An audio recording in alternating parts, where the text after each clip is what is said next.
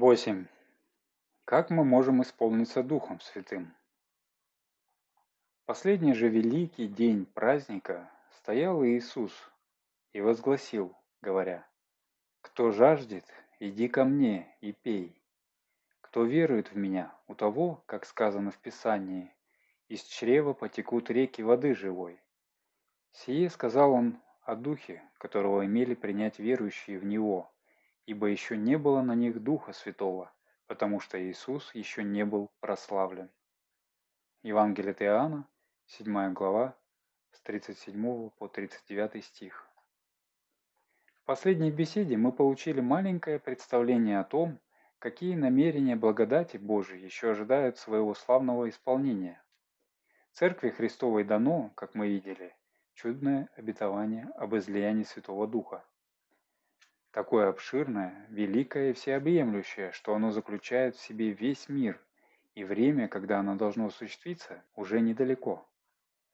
Но разве это обетование Божие дано нам для того, чтобы мы, то есть каждый из нас отдельно, сказал теперь, хорошо уже, начиная с сегодняшнего дня, веря по-детски этому слову, я буду ожидать, следить за знамениями, предшествующими этому излиянию, вымаливать его исполнение – и ждать, пока оно не осуществится надо мною и над всякой плотью? Конечно, это жажда, тоска и ожидание Духа Святого в силе для всего мира вообще и для Церкви Божией, в особенности, должны наполнять нас. Но было ли бы правильно, если бы мы связали наше личное исполнение Духом Святым с этим грядущим событием? Никак. Это значило бы, что мы, подобно больному в Вифезде, Вместе с толпою ожидаем возмущения воды в купальне, между тем, как тот, кто может исцелять немедленно и уже исцелил бесконечно многих, стоит перед нами, спрашивая, хочешь ли быть здоров? Слава и благодарение Богу! Мы имеем право и можем выздороветь в этом отношении именно теперь, прежде чем Господь исполнит свой обширный план во всем его великом объеме. Мы даже должны выздороветь, чтобы сделаться средой, в которой Дух Святой может начать свое господство и стать посредниками, через которых Он может открыть свое чудное намерение другим. То время как обещанные, приближающиеся теперь дни, то есть перед наступлением великого и славного дня, Он хочет посетить Своей милостью великое множество. Настоящее время, начиная с Пятидесятницы и до ныне, может пробиться стать победителем уже каждый отдельно. Каждый имеет право и возможность быть наполненным силой свыше. Это именно подтверждает Слово Христово, поставленное в заголовке. Мы все уже давно знаем это Слово, как одно из чудных приглашений нашего Господа Иисуса. Но поняли ли мы, что оно призывает нас прийти к Нему, чтобы быть облеченными полнотой Духа Святого? Я не всегда так понимал его, и потому не замечал как следует его силы. Но однажды Господь показал мне его в своем свете, и тем доставил мне бесконечное блаженство. Собственно, ведь Дух Святой сам объясняет нам через евангелиста, что Господь Иисус говорит здесь о принятии Духа Святого. Сие сказал Он о Духе, которого имели принять все верующие в Него. Мы чувствуем, что поступили бы неправильно, если бы захотели объяснить этот чудный зов, прийти к нему и пить иначе, чем он, потому что тогда мы свели бы на нет для себя и для других намерения Господне. Как благодарны ему должны были бы мы быть за это заявление, так как оно удивительно, но вместе с тем очень просто разрешает столь многие вопросы, причинившие нам, может быть, большие затруднения в смысле получения Святого Духа в полноте. Да даст нам Господь всецело уяснить себе это. Прежде всего я попросил бы не выпустить из виду того, что Господь говорит здесь о Духе Пятидесятницы. Это имеет огромное значение, потому что Он – великая потребность для каждого ученика Господня.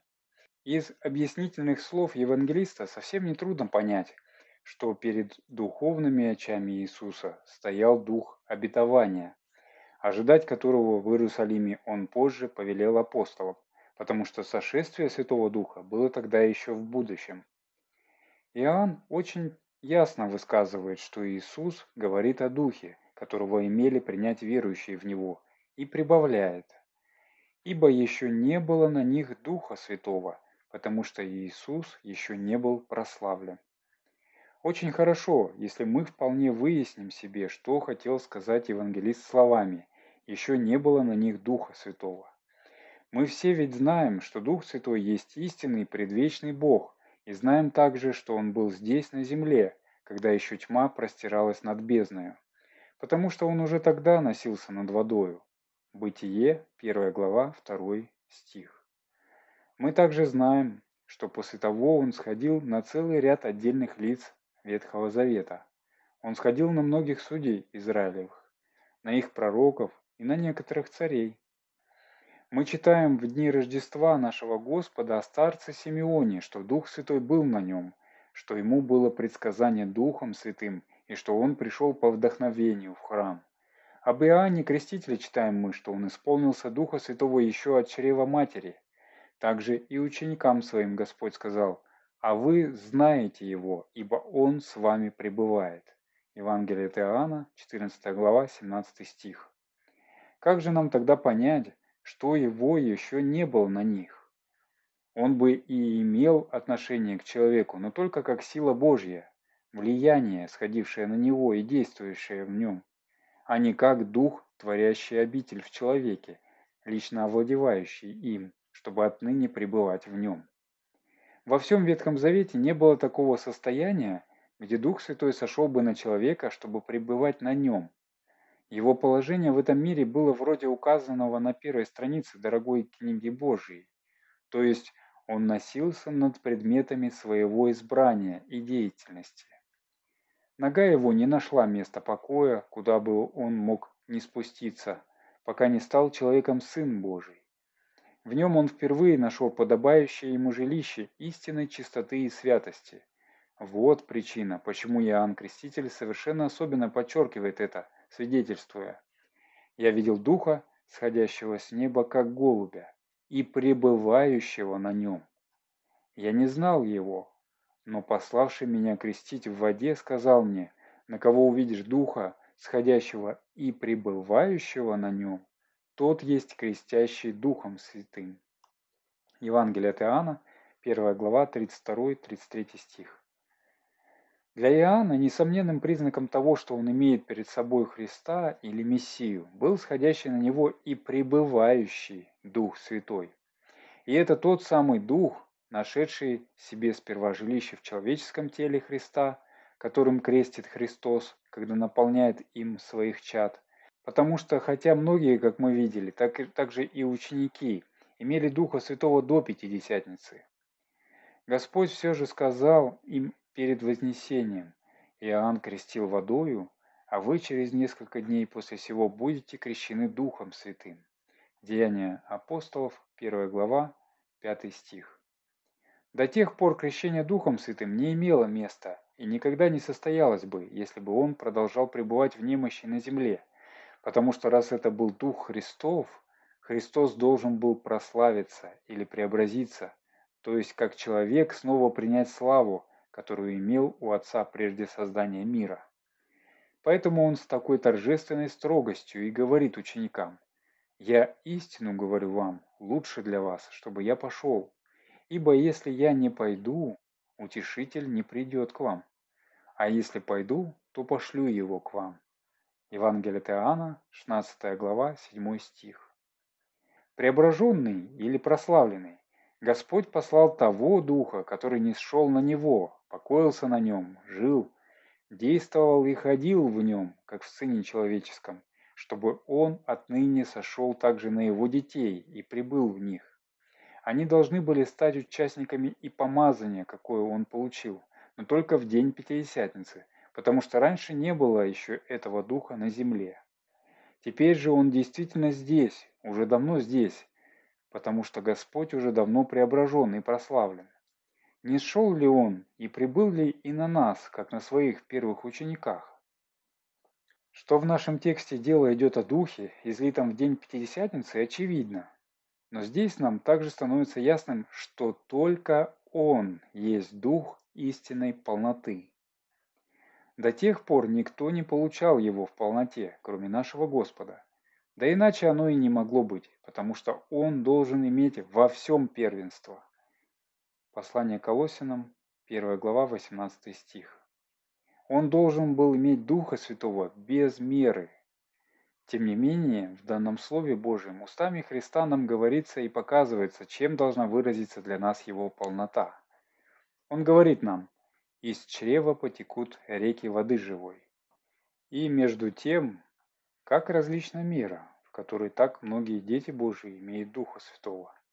Посмотрите только вокруг себя, загляните в Писание и сравните то и другое. Как жалко покажется вам все в отношении этого обетования Господня. Вот Никодим. У него Дух Божий дышал как ветер, он был возрожденным, но кажется, что у него как бы никогда не выбилось даже струйки. У самарянки он сделался ключом, источником, текущим в жизнь вечную. Это было уже гораздо больше, и она в действительности была не только возрождена и обращена, но ключ ее тотчас же начал бить, то есть другие получили часть того, что произвел в ней Дух Святой. Тем не менее, Господом обетовано здесь нечто бесконечно славнейшее, потому что должны потечь реки, уже одна река есть нечто совсем другое, нежели источник, хотя бы он был даже источником, бьющим ключом. Река, как мы все знаем, образуется из множества источников и ручьев, которые она приняла в себя и которые все теряются в ней по причине ее величины и глубины. Вот какая разница должна бы была быть между Духом Господним, которого мы видим перед Пятидесятницей, в Никодиме, в Самарянке и в других детях Божьих и Духом, который должен был сойти в день Пятидесятницы на всех, принадлежавших Христу. Однако Господь говорит здесь не об одной реке, но о многих, как бы о целой системе рек. «Потекут», — говорит он, — «реки воды живой». Разве такое получение Духа Святого не будет получение без меры? Кто может измерить многие реки? И что мы скажем, когда обратим внимание на то, что Господь имеет в виду отдельные лица, не целый сон, как в день Пятидесятницы. У того, следовательно, у каждого в отдельности потекут реки. Нам случалось присутствовать на больших собраниях, чудных съездах, и мы радовались, когда время от времени то тут, то там от сотен и тысяч верующих текло несколько рек. Мы думали, что отплыли на глубину. Евангелие от Луки, 5 глава, 4 стих. Но что бы было, если бы от них, от всех, от каждого отдельно, кто верует, как говорит Писание, потекли бы реки воды живой? А по собственному слову Господа ты имеешь право прийти и пить до избытка. Если у тебя еще не дошло до этого избытка или переполнения через край, ты теперь должен заключить, у меня что-нибудь не совсем в порядке. Обетование Господне осталось на мне неисполненным. Поэтому не покойся далее в ладикийском самодовольстве, продолжая говорить в сердце своем «Я богат, разбогател и ни в чем не имею нужды». Откровение, 3 глава, 17 стих. Да, обещанный дух Пятидесятницы есть дух полноты, поэтому всюду, где речь идет о нем, мы постоянно читаем, что Бог изольет реки или воды, что мы должны быть полными, исполненными и переполненными им, вместе с тем быть крещенными или погруженными в Него, как в глубину, которая сомкнется над нами и покроет нас. Каждый из нас поймет, что под такими выражениями Господь не мог разуметь только орошение, как бы росою, увлажнение, поливки или окропление. О, вы, возлюбленные Божьи, настойчиво требующие, чтобы крещение водою не совершалось над вами посредством окропления, вы, не признающие, что ваш брат вообще был крещен, если он не был погружен. Когда же вы начнете настаивать на том, чтобы каждый был переполнен Духом Святым, погружен в Него, потому что только это есть истинное крещение Духом Святым? Далее, это слово обетования вполне освещает нам также вопрос о том, для кого предназначен Дух Святой. «Кто верует в Меня», – возгласил Господь в тот день. И Иоанн для ясности прибавляет, «Сие сказал он о Духе, которого имели принять верующие в Него».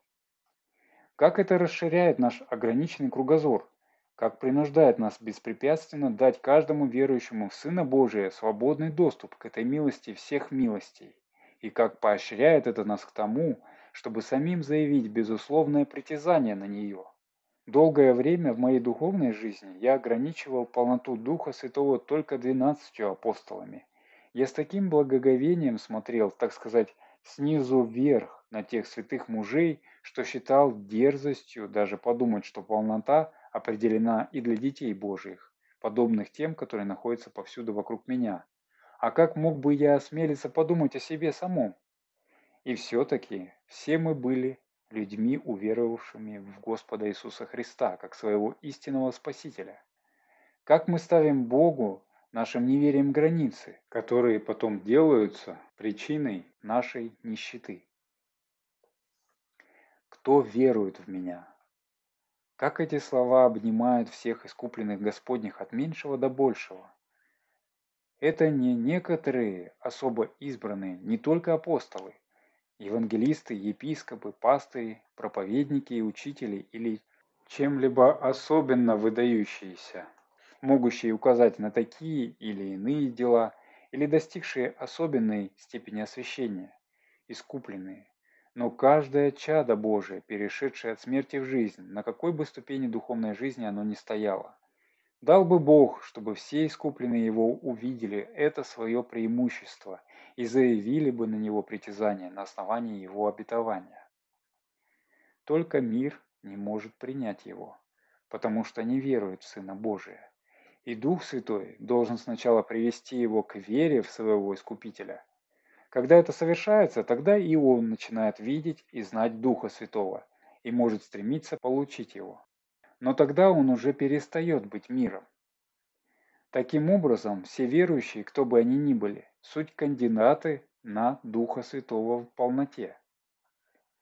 Но как могут эти верующие принять Его? Как могут все, ты, я, каждый желающий, получить Его? Именно эти вопросы уже причинили много забот серьезным и искренним душам. Многие глубоко огорчались и неутомимо трудились в этом направлении. Иные в горячей молитве боролись с Богом и до усталости расспрашивали у людей, Ездили с одного съезда на другой, надеясь там сделаться участниками благословения и вернуться другими людьми. Но тщетно. Они прочитывали целый ряд книг о Духе Святом, ища в них разрешение этих вопросов, и, как казалось, нигде не находили его. Да, только Иисус, Господь наш, может разрешить и давно разрешил их. Слушай, кто хочет, вот ответ на вопрос, как мне получить Духа Святого, подобно первым ученикам. Он так прост и прям. Кто жаждет, иди ко мне и пей. Кто верует в меня, у того, как сказано в Писании, из чрева потекут реки воды живой. Прийти, веровать, пить – вот все, вот путь к рекам. С верующим в этом случае бывает совершенно то же, что было, когда он приблизился к Господу, как грешник. Тогда он должен был прийти к Иисусу, должен сделать это и теперь. Он должен был присвоить себе Иисуса, принять Его в себя. Также должен он поступить с Духом Святым. Придя к Иисусу, он должен пить, впивать Духа Святого, который истекает из Него, и которого он дает даром. Он должен воспринять его так свободно и просто, дать ему так глубоко проникнуть в свое существо посредством живой веры, как действительно жаждущий хватает большими глотками воду, которая тотчас утоляет в нем его жажду, освежает и производит новую жизнь. Вот путь нашего Господа, чтобы нам исполниться Его Духом. Он сам показывает его нам. Он сам здесь руководитель. Хочешь ли ты сделать его своим путем? Хочешь ли идти им? Если да, Ступи на него теперь, дорогой читатель. Не нужно ждать чего-то, если ты жаждешь. Смотри, предположение Господня при этом приглашении основывается на блаженном «теперь», на настоящем времени. «Кто жаждет?» — говорит он. «Никто жаждал», то есть в прошедшем. Он не говорит тоже, кто когда-нибудь будет жаждать, то есть в будущем, но кто теперь жаждет, тот иди теперь и пей. Именно теперь. Ведь теперь нам не приходится более ожидать предстоящей Пятидесятницы, как апостолам или первым ученикам, потому что Иисус прославлен. Сошествие Святого Духа совершилось. Дух Святой, пребывающий в нас, здесь. Мы тотчас можем иметь реки воды живой. Но, может быть, прийти и пить как раз составляет для тебя затруднение. Ты, может быть, спрашиваешь, что это могло бы значить. То и другое значит верить. Ты, пожалуй, уже давно молил об этой полноте духа. Следовательно, пришел с верой к Иисусу. Не за этим, значит, стало дело, но ты остановился на этой точке, и это твоя ошибка. Ты должен не только прийти, но и пить. Да что же это значит? Это означает взять, присвоить и принять в себя. Есть вера нищенствующая, которая всегда молит и просит, заставляя еще и других просить за себя. Даже тогда, когда просимое уже подается, она продолжает просить. За просящей верой лишь только она привела нас к Христу за каким-нибудь даром. Должна следовать берущая или присваивающая вера, потому что каждый из даров Божиих уже дан нам во Христе и должен быть просто присвоен нами, если ему надлежит сделаться нашей собственностью. Прийти и пить есть, во-первых, шаг веры, приводящий меня из сухой пустыни, из пустыни жажды, сразу к прославленному Господу. Во-вторых, она дело веры, впивающее, присвающее, вдыхающее Духа Святого. «Примите Духа Святого», — сказал Дунув, воскресший ученикам. Они должны были вдохнуть его, как мы вдыхаем чистый свежий воздух. Ты, пожалуй, уже сделал тот или другой шаг, то или другое дело веры, но еще не это. Хорошо. Если ты верующий, сделай его теперь, потому что верующий идет из веры в веру. А если ты уже был исполнен, но вновь начал жаждать, к тебе снова относится слово, опять и опять. «Приди ко мне и пей». Представь себе при этом, что ты приглашен самим Богом. Следовательно, между тобой и этой рекой жизни не может более существовать ничего, никакого препятствия. Он, дарующий реки, широко раскрыл дверь и ожидает, чтобы ты смело вошел. Приди же, приди теперь же и пей. Научимся же, наконец, еще из этого слова, что с получением Духа Святого в силе окончится всякая засуха. У того из чрева потекут реки воды живой, говорит Господь. Может ли еще быть засуха? Есть ли ей место там, где избыток течет реками? Это ведь невозможно.